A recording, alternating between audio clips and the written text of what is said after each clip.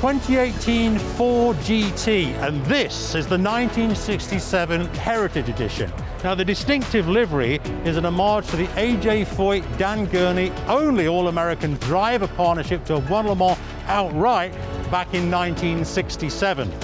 But don't be fooled into thinking this is merely a souvenir of past celebrations for Ford because in every way, this car stands on its own merit.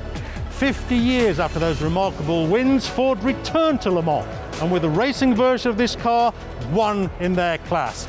And it isn't difficult to see why, and it isn't just the high performance engine mounted at the back.